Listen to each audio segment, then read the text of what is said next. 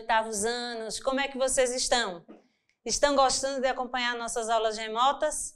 Espero que estejam realizando as atividades, como eu falei na aula passada, desenvolvendo pesquisa e aprendendo cada vez mais conosco. Vocês aí e nós aqui fazendo o melhor para vocês através das aulas. Ok? Vamos continuar com as aulas de Geografia. Eu sou a professora Januária e vamos dar início. Como sempre, iniciamos nossas aulas revendo os conceitos das aulas anteriores. Na aula anterior, nós vimos o conceito de cultura, vimos que é um conceito muito amplo, muito diverso, mas nos deu uma base para entender o que é nação. Ou seja, a nação está muito ligada ao conceito de identidade cultural. Depois disso, vimos alguns povos que lutam por independência territorial, assim como os curdos e os bascos. Por isso, entendemos melhor por que existem movimentos nacionalistas dentro do nosso planeta. Vocês lembram do mapa? Cada pontinho representava uma nação que buscava por autonomia e soberania territorial. Finalizamos a aula passada com a partilha do continente africano. Porém, na aula de hoje, nós vamos compreender bem melhor como aconteceu a regionalização do continente africano, apontar a diversidade étnico-cultural, política existente dentro desse continente e analisarmos a formação de alguns estados-nação dentro do contexto neocolonial. Vamos? De início, preciso fazer uma pergunta a vocês. Qual imagem vem na sua mente quando falamos de África? Analise, por favor, essas imagens aqui. Você se identifica com alguma delas? Pois bem, se você se identificou com alguma daquelas imagens, eu tenho um desafio para vocês, tá certo? Onde se localizam essas paisagens aqui que estão na nossa tela. Analise, por favor, a imagem da direita, onde temos uma paisagem natural. À esquerda, nós já temos uma imagem mais diversa, mais dinâmica, não é? com o comércio. Será que você seria capaz de identificar quais são os países que pertencem a essas imagens? Cinco segundinhos para que vocês possam identificar. E aí, foi fácil? Será que você tem um conceito formado sobre o continente africano? Enfim, pois bem, meus queridos, conseguiram identificar as imagens aos países que eles representam? Então, temos aqui a imagem natural estava representando os Estados Unidos com o Arizona, tá certo? E a outra imagem apresentava é, pessoas vestidas, né?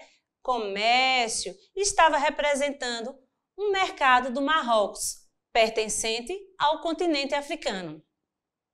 Tranquilo? Mas ainda temos outro desafio para vocês. Esse desafio 2 também vem fazendo a mesma pergunta. Onde se localizam essas paisagens? Eu tenho duas paisagens aqui belíssimas. No meu lado direito, eu tenho uma paisagem natural, não é? Muito bonita, com animais. No meu lado esquerdo, tenho uma cidade muito dinâmica. E a pergunta é essa: essas paisagens pertencem a quais países? Pense um pouquinho, faça análise e vamos refletir juntos. E aí, identificaram? Seu conceito de continente africano continua o mesmo? Vamos ver a resposta? Gente, nós temos aqui a resposta das duas imagens. A paisagem natural representava também o continente africano. A paisagem dinâmica urbana também está presente no continente africano. Essas duas imagens são importantíssimas para essa aula, para você entender e quebrar um pouco e desfazer aquelas imagens negativas que existem no continente africano. Ou seja, uma daquelas imagens era a savana africana no, com o monte Kilimanjaro, que fica na Tanzânia, e a outra na Nigéria, também no continente africano. Isso, gente, tem que ficar muito claro para vocês. A África é um continente e não um país, como muitas pessoas pensam. Não pode ter uma imagem homogênea, única, correto? Então, vamos para o nosso continente africano. O continente africano é o único continente dentre todos que está presente em todos os hemisférios: hemisfério norte, sul, oeste e leste. É um continente que, é, que possui aproximadamente 30 milhões de quilômetros quadrados. Tem 55 países, tá certo? Nos quais seis são insulares e 49 estão na parte continental. Vale salientar que muitas dessas ilhas serviram de entrepostos durante o período colonial, tá certo? Observe bem, analise o mapa, veja a quantidade de países que esse continente apresenta, ou seja, é um continente diverso que não pode ser visto de uma só forma. Outra observação bem interessante de se fazer é que no ano de 2011 surgiu o mais novo país do mundo, o Sudão do Sul. Mesmo surgindo através de uma grande guerra civil e também sendo resultado das fronteiras artificiais do período neocolonial, nós sabemos que hoje esse país aumentou a quantidade de países existentes dentro do continente africano. Vale salientar que existe uma tendência que novos países surjam dentro do continente africano. E isso pode ser explicado devido à fragilidade das suas fronteiras, certo? São fronteiras que ainda carregam dentro da sua formação a história neocolonial, a história de exploração que foi utilizada em séculos passados.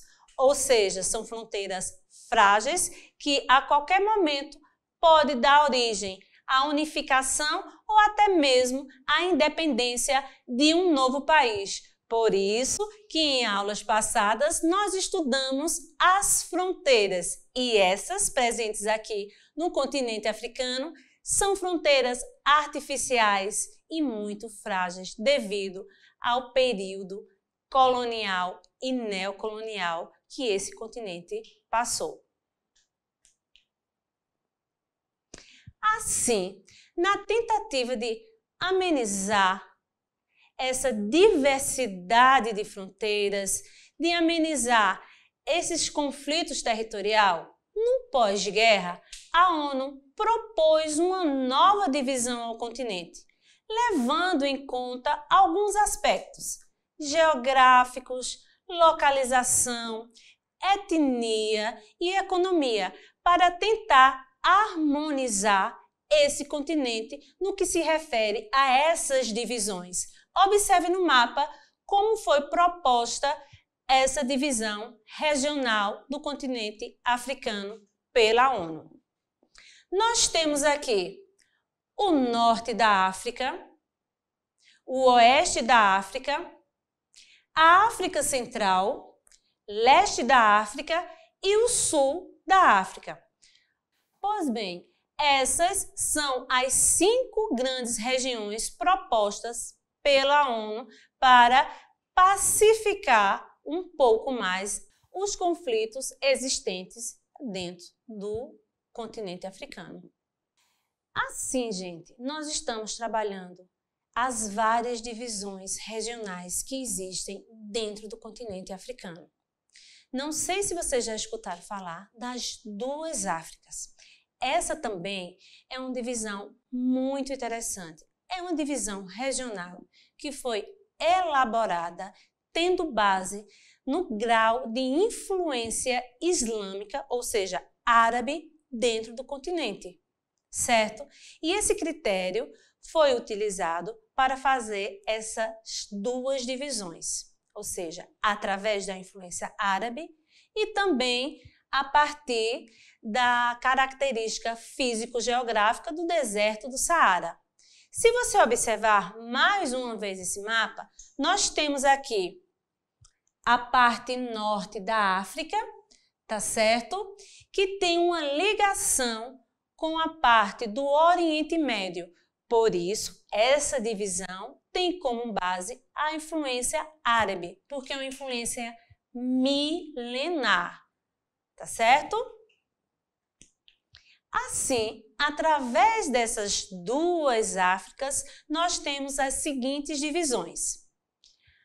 África do Norte, essa parte da África do Norte é justamente a parte que recebeu a influência árabe, a influência islâmica, uma influência milenar dentro desse continente.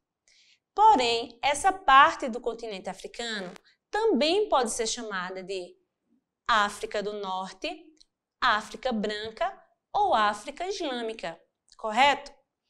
A outra parte nós chamamos de África subsaariana, correto? Também conhecida como África Negra. Existem muitos discursos, muita conversa no meio científico sobre, sobre a denominação dessa dessas duas grandes divisões, certo? No que se refere à África branca ou África negra. Vamos conhecer um pouco mais de cada uma delas. Na África Islâmica, na parte norte do continente, compreende um conjunto de nações que a maioria pratica a religião islâmica e a língua árabe.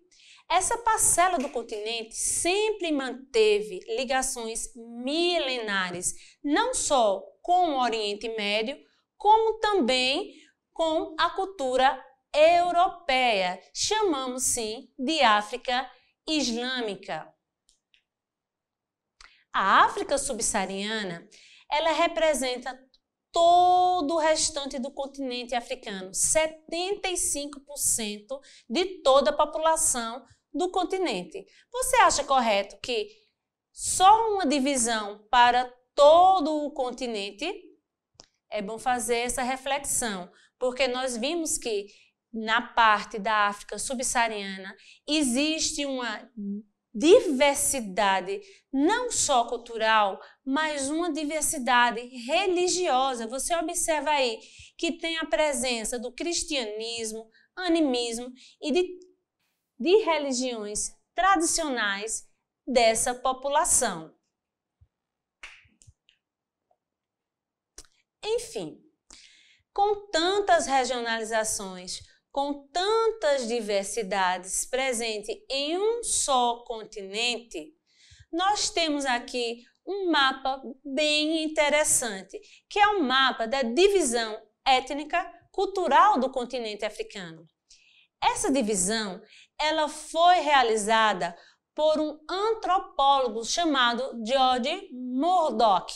Murdoch fez uma análise do conjunto de etnias presentes dentro desse continente. Observa aí o traçado que esse continente apresenta. Na verdade, Murdoch quis mostrar ao mundo que a África é muito mais do que aquelas divisões que são apresentadas nos mapas.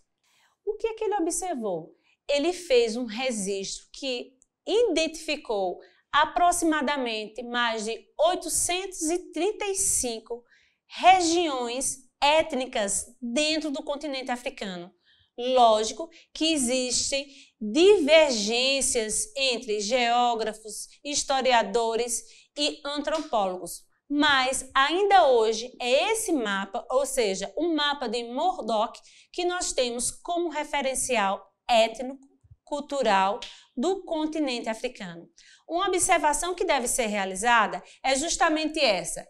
Se a África estabelecesse suas fronteiras nacionais com base na identificação étnica ou linguística, como a Europa, o número de países resultantes superaria o número de países do mundo atual juntos, ou seja, só o continente africano superaria todos os países existentes dentro do nosso planeta. Enfim, chegamos ao neocolonialismo, um período muito triste, um período totalmente controverso dentro da história. Que período foi esse? Você deve estar perguntando. Foi o período no qual o continente africano foi repartido pelas potências europeias da época. Você observa aí na, na imagem que você tem a África e representantes europeus partindo, ou seja, repartindo a África entre si. Nós chamamos esse momento de partilha da África. Essa partilha da África, minha gente, ela aconteceu durante a Conferência de Berlim, também é conhecido como Conselho de Berlim. Essas reuniões, essas conferências, elas aconteceram entre os anos de 1884 a 1885. O que é que nós temos que observar nesse momento? A Europa estava passando pela segunda revolução industrial. E a partir dessa corrida é, por mercados, por matéria-prima, eles resolveram partilhar a África. Porém, os objetivos dessa partilha são objetivos bem diferentes da realidade. Vamos lá. Na conferência ficou muito claro, principalmente, três motivos da divisão do continente africano. O primeiro deles era acabar com a escravidão, o segundo dele era levar o cristianismo a essas nações, e o terceiro motivo era levar o desenvolvimento às nações do continente africano. Até aí, tudo tranquilo. Mas, na realidade, a Conferência de Berlim serviu unicamente para dividir, para repartir as nações africanas entre as potências europeias de qualquer forma, ou seja, sem respeitar características étnicas, culturais, religiosas. Assim, com essa partilha através da Conferência de Berlim, esse foi o traçado que o continente africano adquiriu com essas divisões artificiais. Você observa aqui que, comparando com o mapa de Murdoch, o continente africano adquiriu divisões bem diferentes, ou seja, cada um pegou a parte que mais tivesse interesse ou atendesse às suas necessidades econômicas. Lembra do mapa da ONU que tentou dar uma reorganizada? Pois bem, justamente por conta desses traçados aqui. Porém, meus queridos, em 2014, um grupo de estudantes universitários tiveram a ideia de fazer uma campanha falando sobre a diversidade do continente africano. Eles queriam mostrar ao mundo que a África não é homogênea, que a África não é feita por um só povo. E através do Facebook, eles criaram essa campanha. Observem aqui comigo. Não somos um país. A campanha traz uma mensagem muito positiva. Eu não falo africano. Africano não é uma língua. A África não é uma selva com animais selvagens. Essa é a visão, não poderíamos dizer negativa, mas boa parte da população mundial só enxerga a África através da savana, de uma população negra e de uma população pobre. Por isso, iniciamos nossa aula mostrando algumas imagens para tentar quebrar esses estereótipos existentes na mente da população mundial, certo? Então, lembrando, a África não é o país, africano não é uma língua, certo? Pois bem, meus queridos, na aula de hoje nós trabalhamos regionalização da África, Conferência de Berlim, o neocolonialismo e os estereótipos presentes dentro do continente africano. Espero que vocês tenham gostado da aula. Aproveite e estude todas as ideias que foram colocadas aqui. Obrigada pela atenção e até breve. Um abraço.